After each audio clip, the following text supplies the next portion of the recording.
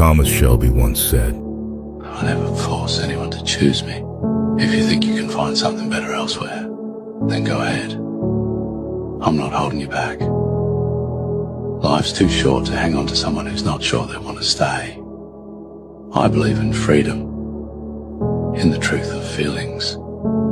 If you must stay, let it be, because your heart tells you this is where you belong, not because I asked you to. I want to be a choice, not a default option. I deserve someone who sees my value, who understands what I bring to their life. I don't want someone who stays with me out of fear of loneliness or out of habit. I want someone who stays because they can't imagine life without me. The door is always open. You're free to leave at any time. So if you think your happiness lies elsewhere, I won't stand in your